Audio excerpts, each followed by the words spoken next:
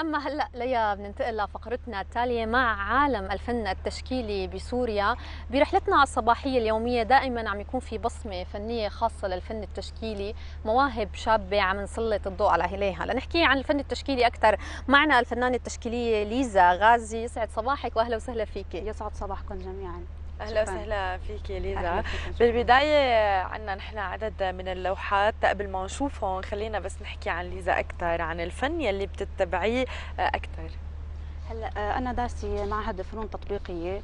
آه، أنا بتبع بلوحاتي الفن التشكيلي اللي آه، الحديث تقريبا يعني. أنا حبيت إني يكون لي مسيرة فنية خاصة فيه طبعا هي أكيد بتعتمد على يعني دراستي واطلاعي على مدارس فنية متعددة من الانطباعية للتكعيبية والتجريدية. فأنا حبيت أعمل مزيج من هذا الفن وحبيت أرسم بطريقة هيك حديثة شوي تعطي يعني صورة حلوة عن المرأة السورية لأنه الأنثى كثير موجودة بلوحاتي اغلب أغلبهم يعني. خلينا نحكي أيضا عن الفن التشكيلي ونحن عم نشوف بعض لوحاتك. عم تقولي يمكن بسبب اطلاعك على المدارس الفن التشكيلي وهي مدارس مختلفة ولكل مدرسة بسمة خاصة.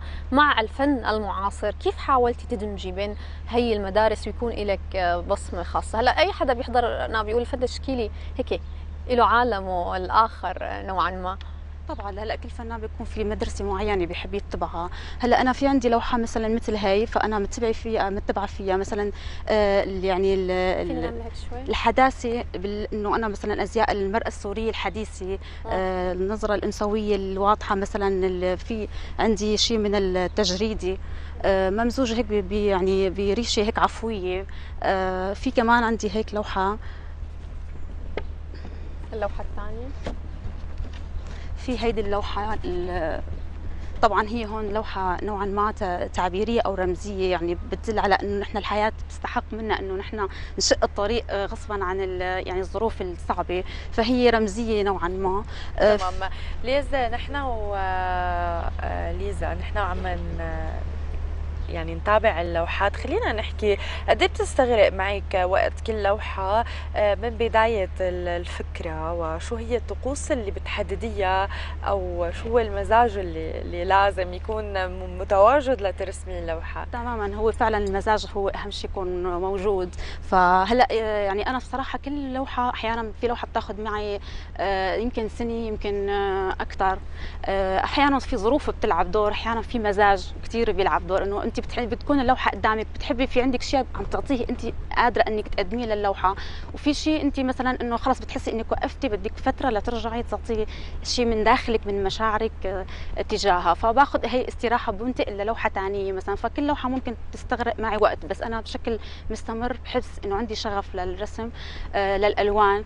فبحب دائما اكون إنه حتى لو أنا هي اللوحة ما عندي هلأ أعطيها شيء من جوا فبلاقي حالي إنه في شيء ثاني جواتي للوحة جديدة. كمل لوحة أخرى؟ طيب خلينا نشوف اللوحات اللي معك كمان و... ونحكي يمكن الفنان هو حساس أكثر آه، من غيره اليوم. بريشتك قديش الأحاسيس بتلعب دور آه، ومع الواقع الحالي؟ يعني بتكوني بعيدة عنه ولا بتعكسي الظروف والنفسية من خلال الألوان؟ يعني أحيانا بنشوف ألوان مفرحة أحيانا بنشوف ألوان غامقة هي بتعبر عن هي الحالة.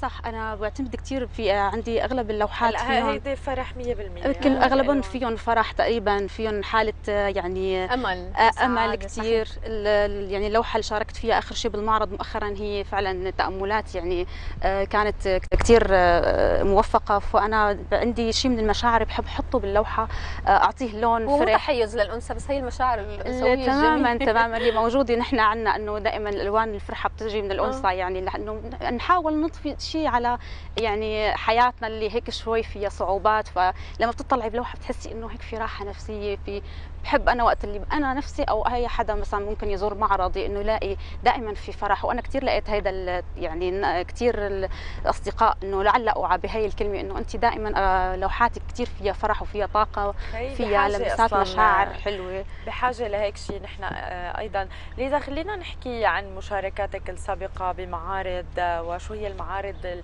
كان لك مشاركات فردية إيه هلا أنا مؤخرا شاركت بمعرض آه، الفن التشكيلي كان في آه، بالمركز الثقافي هون بكفر سوسي.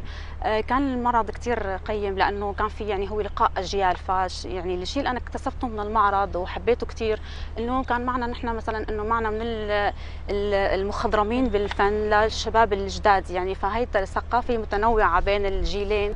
كثير بتفيدنا. يعني بتفيد الفنان بإنه هو يعني يصير عنده اطلاع أكثر يختار الفن اللي هو بيتوجه له أكثر فهي أكيد هي ثقافة جديدة وتوسيع يعني اللي بتصير بالثقافات بالحكي بالحديث بين المخضرمين اللي نحن أكيد بنلجأ لهم بكثير من الفن ناخذ من فنهم. في عندنا كثير فنانين فنهم كثير حلو يعني ف نعم. توفقت فيه كثير بالحضور اللي كان موجود يعني.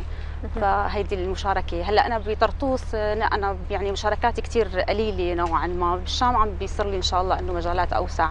أكيد. بدنا نتمنى لك التوفيق. بعد معك لوحتين كنت حابة تحكي إيه عن اللوحة الأخيرة كنت ماسكتيها.